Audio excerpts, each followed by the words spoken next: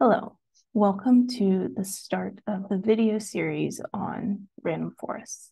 Now, random forests, as you've learned in this lesson, are a great tool for making predictions.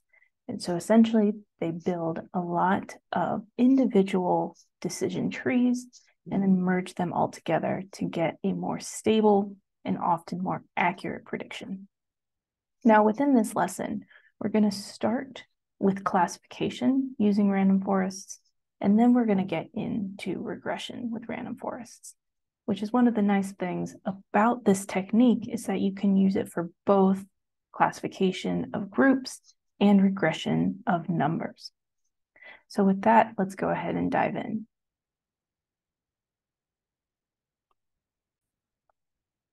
So we're here in Google Colab, and we've got some libraries that we need to save.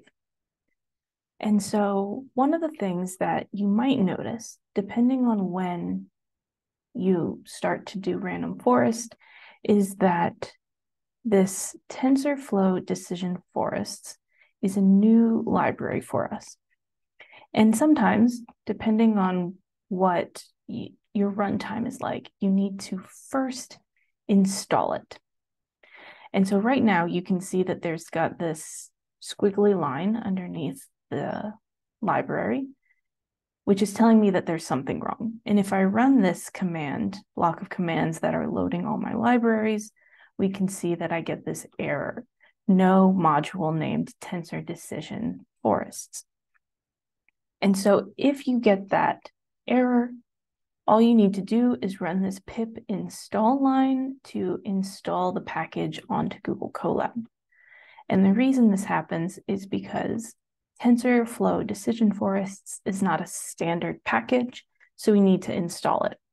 And essentially, it's going to run through all of these different lines, but at the end, it tells us that it successfully installed the library. And so now I can go through and run all of, um, import all of the libraries. So once our libraries are installed and our Google Drive is mounted, we can get into the actual problem. And so what we are going to do is try to predict the type of house based off of energy consumption. And sort of the situation that you can imagine yourself in.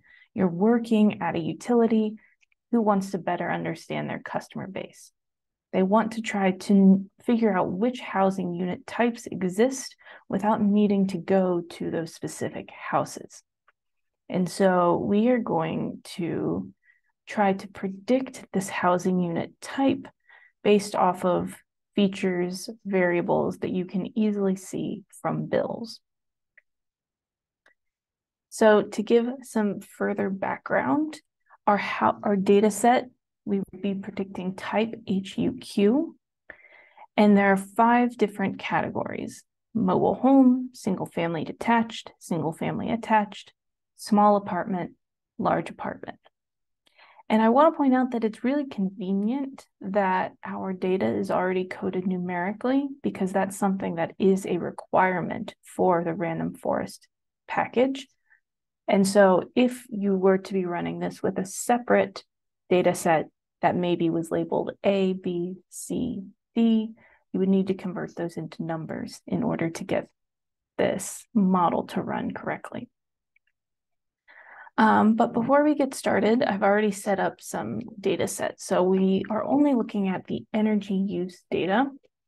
And so we've got our response variable, and I've selected several um, predictors or explanatory variables that can be used in to maybe predict what housing type is based off of data that is available in a billing data set, for example.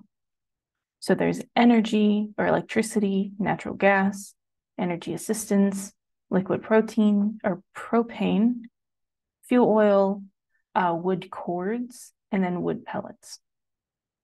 So with that, let's go ahead and get into actually modeling. So the first step that we need to do is split our data into training and test. And so I'm actually going to simultaneously create both of these variables using the train comma test. So this will create one variable called train and another called test. And the actual command we are using is train test split. We give it our data set, and then we give it our test size. And so because we want to split it into 80% training, 20% test, I specify 0.2 as my test size. This is something that you could change in your own work if you thought maybe you would get a better fit with a smaller or larger amount of test data. So let's go ahead and look at what this training data set looks like. So you can see that we've got these random numbers because it's shuffled the data and then randomly pulled out 80%. And we've got our response variable and all of our explanatory variables. But before we can use this in our TensorFlow model, we need to convert the data into a TensorFlow object. So I'm going to create a new data set called train ds, and the command we're using is tfdf. So this is from that TensorFlow decision forests, which I've nicknamed tfdf.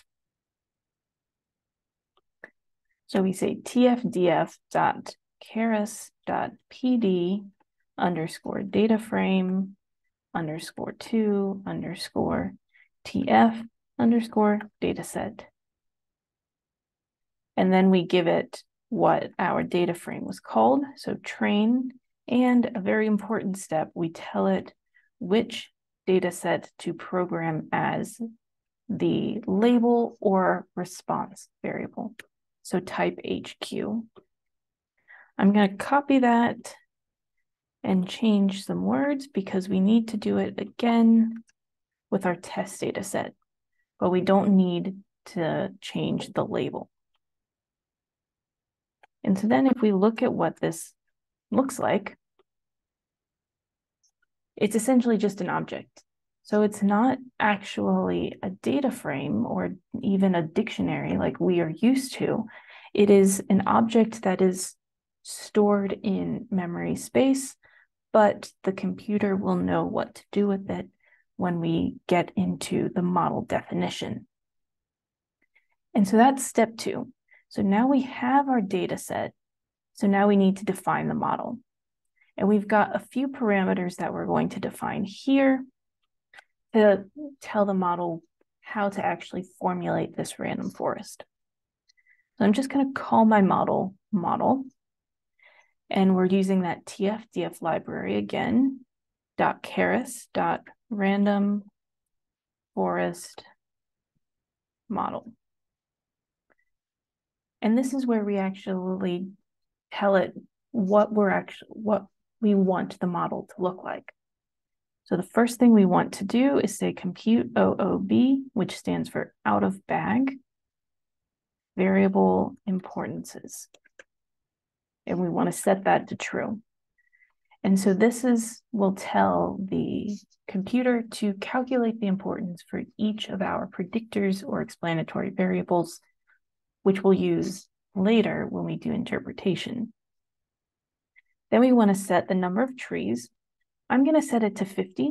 It defaults to 300. The smaller number of trees you use, the um, longer the model will take to run. So I'm going to use a lower number for the sake of the video.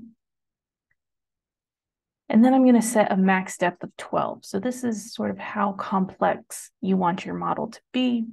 Larger depths means more complexity, but also a greater chance of overfitting the data. So we can see that it's told us where it's actually storing this model. If we print it, we can see that it's once again just one of these weird objects. We can't actually see anything yet, but the computer knows where it is and knows how to use it. Then the last part of the model definition is an optional um, chance to specify the metrics. So we are going to put specifically specify accuracy, which is defined here. So the way we're going to measure how good our model is, is by how accurate it is. The total number of correct predictions divided by the total number of predictions. And so at this point, we've defined the model. There's, but we haven't added any data in here. So if you look at this, there's nothing to suggest that this model is connected to our training data set yet. And so that is what we do when we fit the model in step three. So we say model dot fit train underscore ds using that TensorFlow object. And as we run this, we can see it's going to print out a few um, data sets for us. So it sort of tells us what it's doing as it goes through. It tells us that it took 5.6 seconds to read in the training data set, but then it trained it in 0.78 seconds, so less than a second of training. It's given us some warnings, um, but we don't really need to worry about that uh, because we're not interested in this autograph command. And then we can uh, continue on because it's told us that it has done this correctly.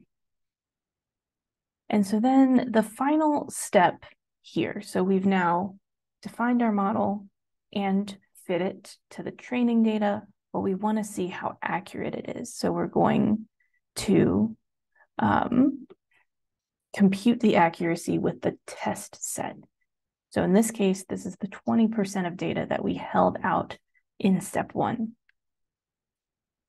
So I'm going to call it evaluation and we say model, which is what I named my model, evaluate. And in this case, we give it a test object and we're going to say return dict equals true to return it as a dictionary.